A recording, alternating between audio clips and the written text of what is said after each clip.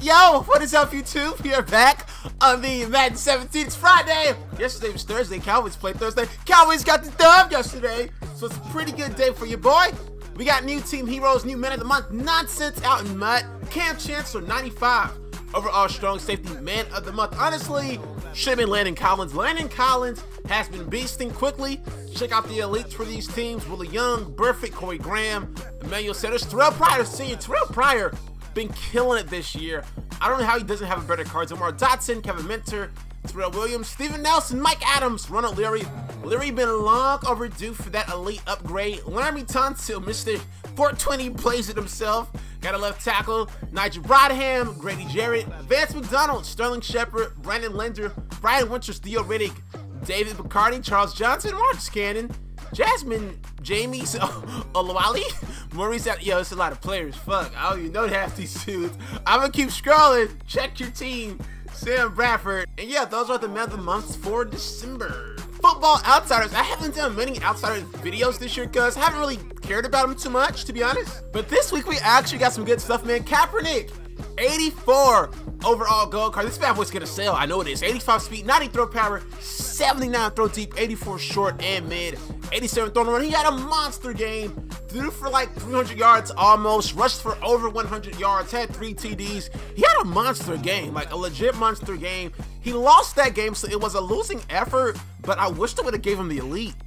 The big time elite for this week is Justin Houston, 91 overall, 84 speed, 91 tackle pursuit and block shed, 89 hit power, 87 play rate, and 86 excel. Week 12 kind of numbers that you put up? Three sacks, damn, three sacks is crazy. for Harry's, pass deflection, first fumble, and seven run tackles for a combined three yards. Whoa, this dude stayed in the backfield and making plays on that line of scrimmage. He had a pretty beastly day.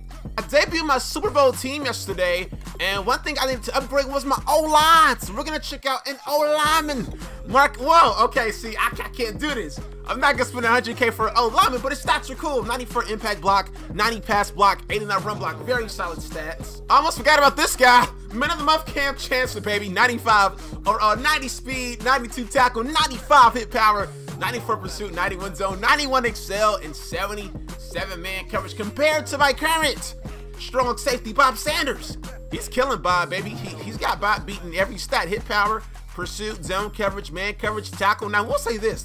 The only stat he's really dominating Bob in is tackle. Every other stat, Bob Sanders is almost identical to this card. You know, zone coverage plus three, that's an okay jump. But every other stat is just two or less, except for tackle. And then, of course, height.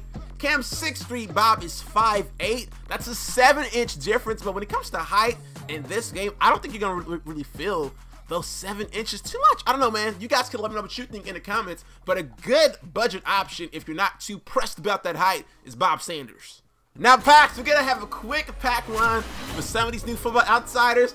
And it's a great time to talk some football, man. It was one game to win yesterday, so we can just focus on the Cowboys game. And Cowboys versus Vikings, I caught the second half of it, and it was a pretty good game. Dak was struggling from what I saw. I came to that conclusion.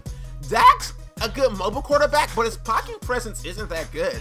I don't think Dak has good pocket presence. Like, I think he's a good athlete, but I don't think his pocket presence is that great.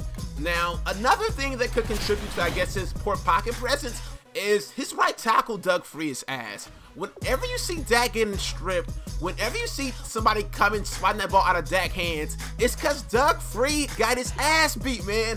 Doug Free is the weak link to that O-line. I think I saw clicking on, on Twitter say maybe put La'el Collins at right tackle. The transition from guard to tackle isn't a seamless transition. From guard to guard, center to guard, simple, you can plug and place guys there. But from guard to right tackle, it's a little different. But in this rare case, La'el Collins is such a great athlete.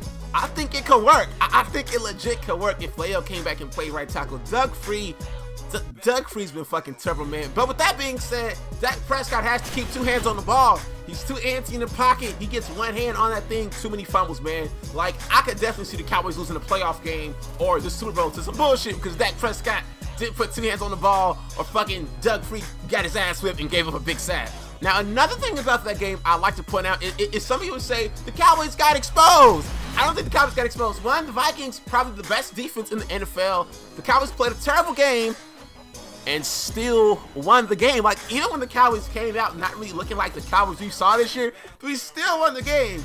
Then at the same time, we're not going to face that defense again this year or an offense that has that same firepower on defense. I was thinking the Raiders might be that team, but the Raiders defense statistically is ranked terrible, man, and they ain't even played nobody. So they've played nobody, and their defense still has graded out terribly.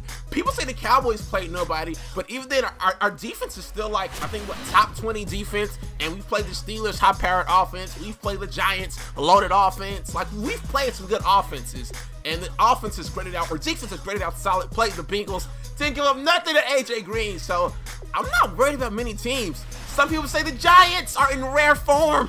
Super Bowl form. I honestly think that's just Cowboys haters getting together in like a, a, little group, a little huddle, putting all their hopes into the Giants to knock the Cowboys off their high horse. But even if the Giants beat the Cowboys, the Cowboys are still playoffs bound, still gonna have that spot coming up the NFC East, still got the best record. So I'm feeling I'm feeling pretty freaking good. Pretty freaking good about my Cowboys going into December or actually in December and going into the playoffs, man. Also, one more thing, guys, Dez has looked better each game. Like the past few games, he's gotten better and better and better. This game, his numbers didn't get better, but he still looks better. He's getting more aggressive, going after more balls, making more plays. Like this is looking good, dude. I think Dak and Dez are getting better and better. All we need is for Dak to get more comfortable in the pocket. Because what teams are going to do to stop Dak is they're going to try to contain those DNs. They're going to send those DNs on, on wild rush angles, get Dak stepping up in the pocket. And honestly, Dak is not comfortable stepping up in the pocket. It, it's so obvious. Dak steps up in the pocket, ducks his head in, ducks out, and gets to run it. Dak's not comfortable stepping up in that pocket, in my opinion. So I think we'll definitely see more teams the ability, if they can, to send those DNs and linebackers rushing wide angles to get Dak to step up and maybe poke that ball loose. But other than that, man, hey, as a football fan, not even being biased, the Cowboys are looking good. If you don't agree with me, you're probably a hater. You're probably a hater. You're probably a salty ass Redskins fan. Word to Anto. You probably a salty ass Eagles fans. Shout out to Bud. You probably a down and out Saints fans. Shout out to Coop. You probably a Desperate Patriots fan. Shout out to Shank. Like, dog. Cowboys are that team, man. That fucking team. I'm gonna see y'all in the next one. These packs looking dry to my dick. I'm out, boys. Peace.